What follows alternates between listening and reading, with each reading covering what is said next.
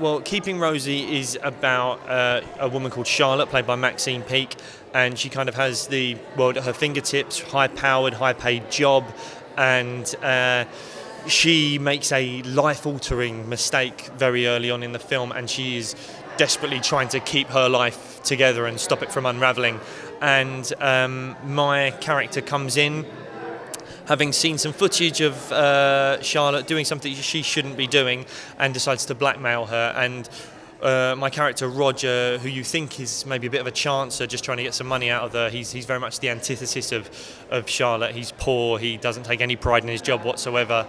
Um, he actually unveils a much darker side to himself as the film goes on and uh, gets a bit psychopathic. I mean, was that what attracted you to the role? The idea that um, this is a chance for you to show a completely different side of yourself to an audience? Yeah, absolutely. I mean, first and foremost, the script is fantastic. Like, it really takes the audience places that they don't expect to go. So I'm really excited about seeing it again tonight, uh, in a room filled with people and. Um, yeah, I think that was the main thing. Was just the script was great, and it, it, really does surprise you at points. But playing a character like Roger is always fun for an actor. It's something that you know you hope that the actor's not actually like that because they would be mental.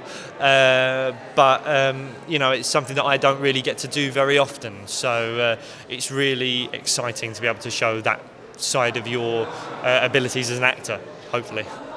I mean, there's a fantastic tension between your character and Maxine's. Can you talk about working with her? Well, she's just brilliant. You know, she's got so much experience and so much energy to bring to a piece, and um, yeah, she just absolutely smashes it. Really, she's so brilliant in the film, carries the film from start to finish, and you know, she really takes you on a journey. And just kind of watching her work was was brilliant. What are you hoping an audience overall takes away from Keeping Rosy? I, I hope they just, to be honest, I just think the film's incredibly entertaining, and I think the fact that the audience won't be expecting what happens, I think, is a huge bonus for the film. And I think with the way that TV and film is today, we're so overexposed to such such great TV and film with, with plot twists and turns that sometimes you can see things coming, and, and sometimes you're not as surprised by things as you, you would hope to be. Whereas with this, I think it really does get you, and that's testament to, to Mike, who wrote the film, to that the audience are going to sit down, watch this, and just be completely blindsided by certain things that happen, which I think is going to be really exciting for them.